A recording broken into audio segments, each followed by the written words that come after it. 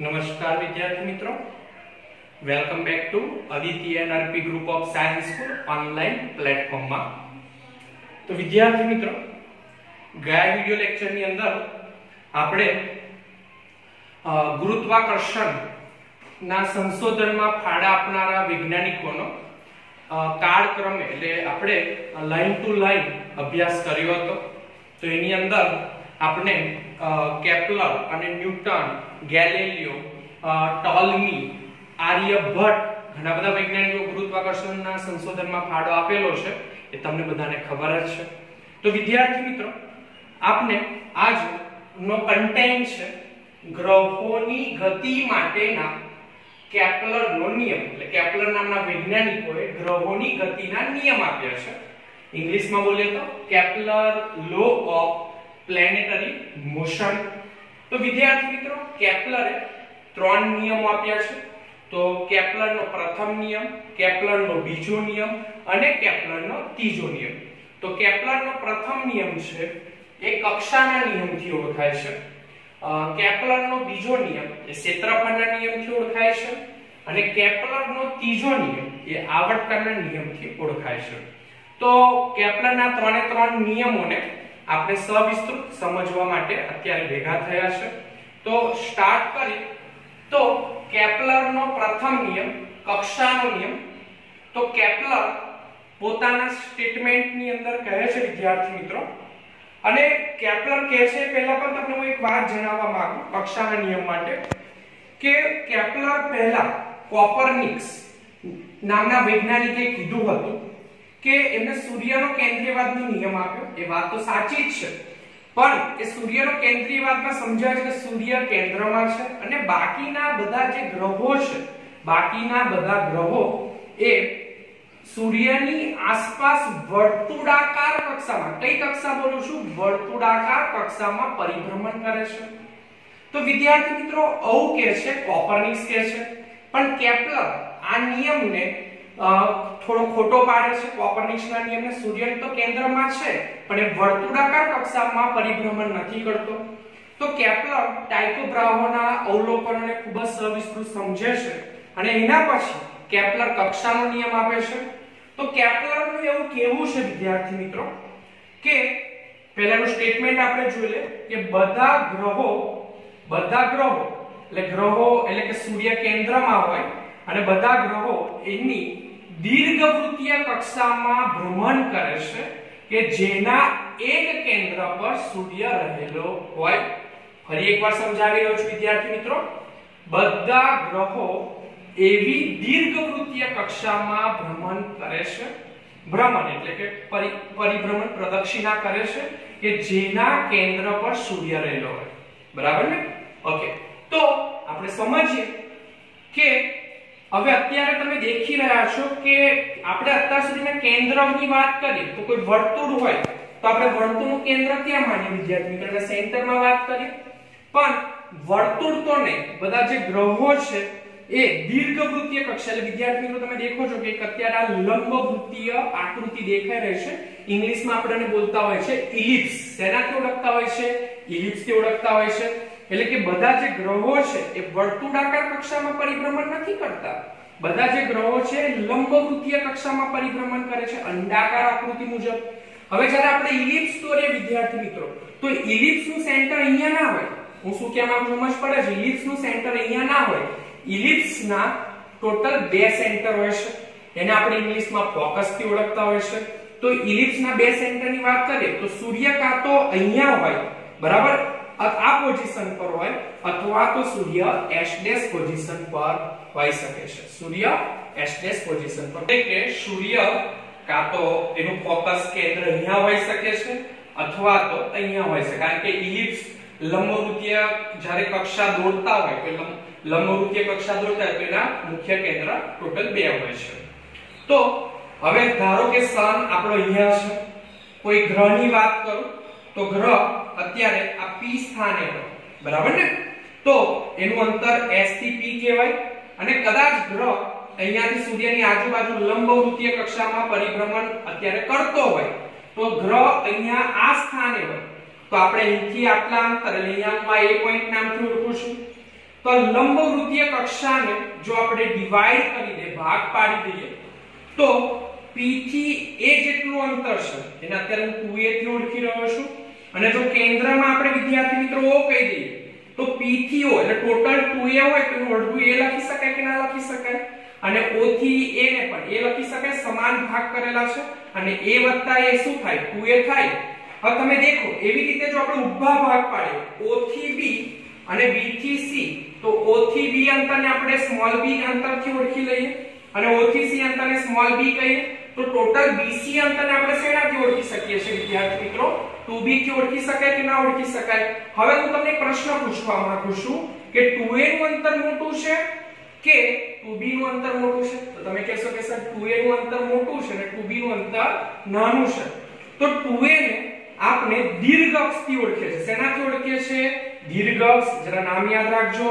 અને 2b ને આપણે દીર્ઘ દીર્ઘ એટલે મોટું. અને 2b ની લીટી નાની છે ને એના કમ્પેરીઝનમાં તો નાનું નાનાની આપણે બોલીએ, તો એને લઘુથી પણ ઓળખી શકાય. તો 2b ને આપણે લઘુ અક્ષથી ઓળખી શકીએ છીએ. તો આ વિદ્યાર્થી મિત્રોથી આપણો કેપ્લરનો પ્રથમ નિયમ. કયો નિયમ તો કેપ્લરનો પ્રથમ નિયમ. કેપ્લરનો પ્રથમ નિયમ એ જ સમજાવવા માંગે છે કે સૂર્ય કેન્દ્રમાં છે, પણ જે બધા ગ્રહો એની આજુબાજુ જે પરિભ્રમણ કરે છે, વર્તુળાકાર કક્ષામાં નહીં. પરંતુ લંબવૃત્તીય કક્ષામાં પરિભ્રમણ કરે છે લંબવૃત્તીય કક્ષામાં પરિભ્રમણ કરે છે. આવું કેવું છે? કેપ્લરનું એના પ્રથમ નિયમની વાત થઈ. હવે આપણે વાત કરવા જઈ રહ્યા છે કેપ્લરનો બીજો નિયમ. કેપ્લરનો બીજો નિયમને આપણે કેપ્લરના ક્ષેત્રફળના નિયમથી પણ ઓળખતા હોય છે. હા, હવે કેપ્લર પોતાના ક્ષેત્રફળના નિયમમાં પહેલા સ્ટેટમેન્ટ શું આપે છે આપણે સમજી લઈએ. અને પછી એનું આકૃતિ દ્વારા તમે સમજાવું. તો કેપ્લર પોતાના ક્ષેત્રફળના નિયમમાં સમજાવે છે કે કોઈ પણ ગ્રહ અને સૂર્યને જોડતી રેખા સમાન સમયગાળામાં સમાન ક્ષેત્રફળ આંતરે છે. હવે સમજાવું છું, ફરી એકવાર બોલી જાઉં છું તમારા માટે. કોઈ પણ ગ્રહ અને સૂર્યને જોડતી રેખા સમાન સમયગાળામાં સમાન ક્ષેત્રફળ આંતરે છે. ચાલો, આપણે આ વસ્તુને આકૃતિ દ્વારા સમજવાનો પ્રયત્ન અત્યારે કરીશું. ચાલો, અત્યારે આપણે ગ્રહ જે છે, એ આપણે પ્રથમ નિયમમાં દેખ્યું કે જે ગ્રહો છે, એ લંબવૃત્તીય કક્ષામાં સૂર્યની આજુબાજુ પરિભ્રમણ કરે છે. એ પ્રથમ નિયમમાં આપણે ભણ્યા. હવે ચાલો આપણે ધારી લઈએ કે કોઈ ગ્રહ છે, એ સૂર્યની આજુબાજુ અર્થ પણ ધારી શકે છે, પૃથ્વી પણ આપણે ધારી શકીએ છીએ. એ સૂર્યની આજુબાજુ લંબવૃત્તીય કક્ષામાં પરિભ્રમણ કરે છે. લંબવૃત્તીય કક્ષામાં કોઈ પણ ગ્રહ એ લંબવૃત્તીય કક્ષામાં પરિભ્રમણ કરે. છે તો ચાલો આપણે અહીંયા ધારી લઈએ કે જે ગ્રહ છે, અત્યારે આ સ્થાન પર છે, અહીંયા છે. આ સ્થાનનું P1 નામ ઓળખી લે બરાબર છે? હવે આપણે આ P1 સ્થાનથી અહીંયા P2 સ્થાન, એટલે ગ્રહ પરિભ્રમણ કરતો કરતો આમ ગોળ ગોળ ફરે, તો આપણે ધારી લઈએ કે P1 સ્થાનથી P2 સ્થાન સુધીને આવવા માટે 1 મંથ જેટલો ટાઈમ પીરિયડ લેશે. કારણ કે તમને બધાને ખબર, જો પૃથ્વી હોય, તો સૂર્યની આજુબાજુ એક પરિભ્રમણ પૂર્ણ કરવા માટે 365.25 દિવસ લગાડે છે તો આપણે ધારી લઈએ કે P1 થી અહીંયાથી P1 સ્થાનથી P2 સ્થાન સુધીને પહોંચવા માટે એક મહિનો લગાડે છે. ચાલો વિદ્યાર્થી મિત્રો, આપણે એક કામ કરીએ. આ સનથી P1 સ્થાન સુધીને જોડતી એક રેખા દોરીએ. એવી રીતે સનથી આ P2 સ્થાન સુધીની એક રેખા દોરી દઈએ. અને આ વચ્ચે અંતરાય અહીંયા P1 થી P2 લા વચ્ચે અંતરાયનું આપણે ક્ષેત્રફળ પણ અત્યારે કવર કરી લઈએ ચાલો. ચાલો, આ ક્ષેત્રફળ દેખાય છે તમને બધાને? અને આ સન ને આપણે અહીંયા કરે s થી લખી લઈએ હા. હવે આપણે જરા દેખીએ કે ચાલો, આ પૃથ્વી છે, અહીંયા ફરતી ફરતી ફરતી. ધારો કે અહીંયા P3 સ્થાન પર આવે છે. અને એ P3 સ્થાનથી માપવાનું મેઝર કરવાનું ચાલુ કરું છું. આ P3 સ્થાનથી અહીંયા આપણું કયું સ્થાન થઈ ગયું? આ P4 સ્થાન થઈ ગયું. અહીંયાથી એક મંથ પછી, એક મંથ પછી, એક મહિના પછી, હું જોઉં છું કે P3 થી મેં સ્ટાર્ટ કર્યું. એક મહિનો પૂરો થયો તો આપણો ગ્રહ ફરતો ફરતો P4 સ્થાને આવે છે. અને અહીંયાથી પણ આપણે સૂર્યને જોડતી એક રેખા દોરી દઈએ. અને આનું આંતરનું ક્ષેત્રફળ આપણે અહીંયા વિદ્યાર્થી મિત્રો બતાવીએ. ચાલો. તો આ નિયમ મેં વાંચી તો પણ કહેવા શું માંગે છે? કે તમે પહેલા એક ક્ષેત્રફળ આપણે લખી લઈએ. તો અહીંયા દેખો પહેલા અહીંયા મેં s લખ્યો છે. તો આ ક્ષેત્રફળ કેટલું થશે? S p2 p1 લખી શકાય. નું ક્ષેત્રફળ. અને બીજું ક્ષેત્રફળ. મારી પાસે શું છે? S p3 p4 નું ક્ષેત્રફળ બે ક્ષેત્રફળ છે. અને અહીંયા સમયગાળો મેં અહીંયા p1 થી p2 જવા માટેનો કેટલો સમયગાળો લીધો છે? 1 મંથ અને અહીંયાથી p3 થી p4 પહોંચવાનો પણ સમયગાળો કેવો લીધો છે? 1 મંથ મતલબ કે આ સમયગાળા વિદ્યાર્થી મિત્રો કેવા થયા? સમાન થયા. તો કેપ્લરના બીજા નિયમમાં શું કહે છે?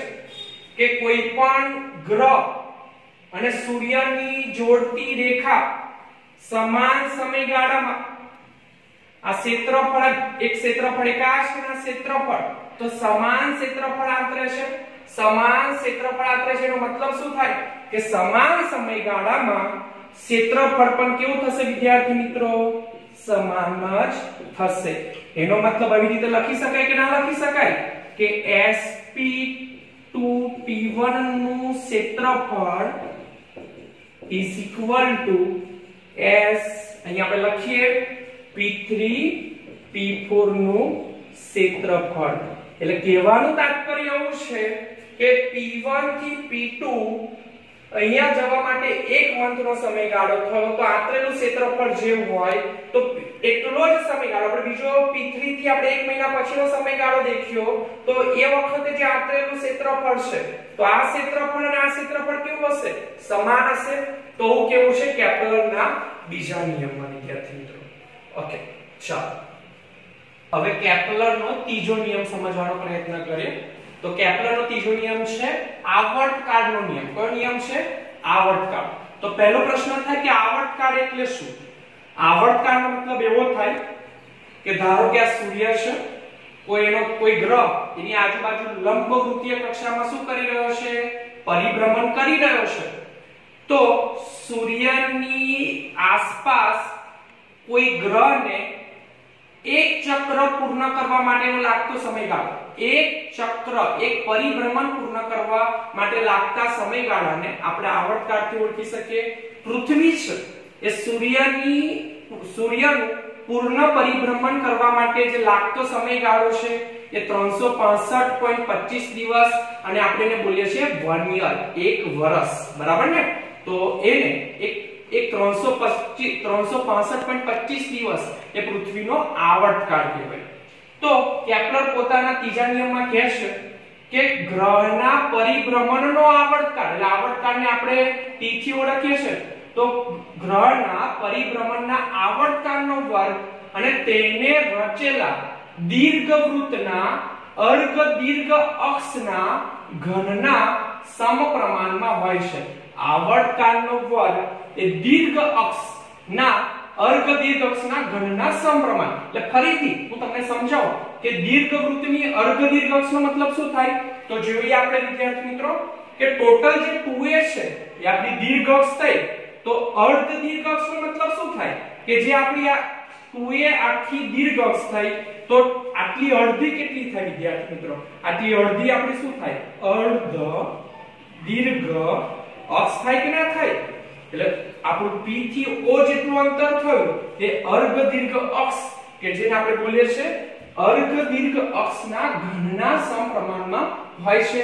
કેપ્લરનું ત્રીજા નિયમ આવર્તકાળના નિયમમાં એવું કેવું છે? તો આપણે લખીએ કે આવર્તકાળનો વર્ગ, t નો વર્ગ, સમપ્રમાણમાં હોય છે અર્ધ દીર્ઘ અક્ષના ક્યુબના. એટલે t square proportional to a cube લખી શકાય. તો આપણે સમપ્રમાણતાની નિશાની દૂર કરીને બરાબરની નિશાની લખીએ. તો આપણે અચળાંક તરીકે અહીંયા q લખી રહ્યા છે, જ્યાં q એ અચળ છે. A ક્યુબ q ને સૂત્રનો કરતા બનાવીએ, તો a ક્યુબ છેદમાં આવશે.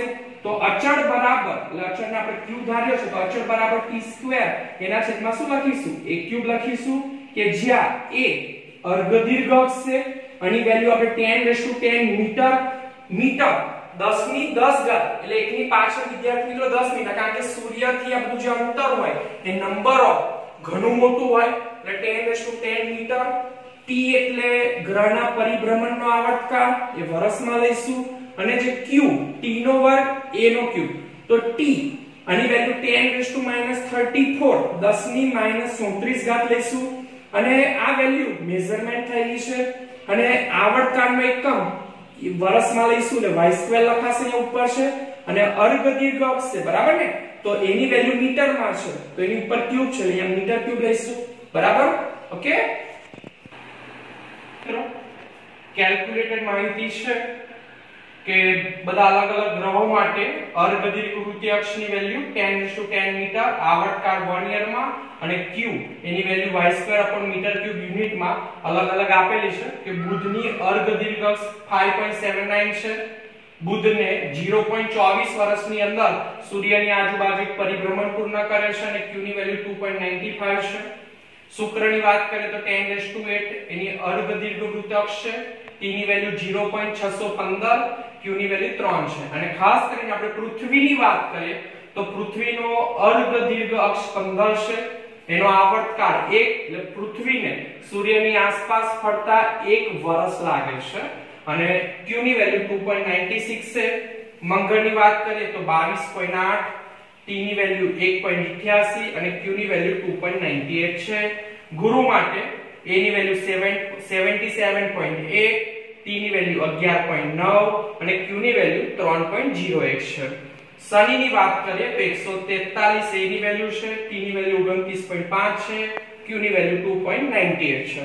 યુરે યુરેનસની વાત કરીએ તો એની વેલ્યુ 287 t ની વેલ્યુ 84 q ની વેલ્યુ 2.98 નેપચ્યુનની વાત કરીએ તો એની વેલ્યુ 450 ટી ની વેલ્યુ 165 અને ક્યુ ની વેલ્યુ 2.99 છે. એ રીતે પ્લુટો ની વાત કરીએ તો એની વેલ્યુ 590 ટી ની વેલ્યુ 248 એનો મતલબ એવો થયો કે સૂર્યની સૂર્યની આસપાસ એક પરિભ્રમણ પૂર્ણ કરવા માટે પ્લુટોને 248 વર્ષ લાગે છે. કેટલા વર્ષ લાગે છે? 248 વર્ષ. સૂર્યનું એક પરિભ્રમણ પૂર્ણ કરવા માટે પ્લુટોને 248 વર્ષ લાગે છે અને q ની વેલ્યુ 2.99 છે. તો વિદ્યાર્થી મિત્રો, આ વિડિયો લેક્ચરની અંદર આપણે કેપ્લરના નિયમો સમજ્યા. તો આજનો મારો વિડિયો લેક્ચર પૂરો કરું છું. જય હિન્દ, જય ભારત.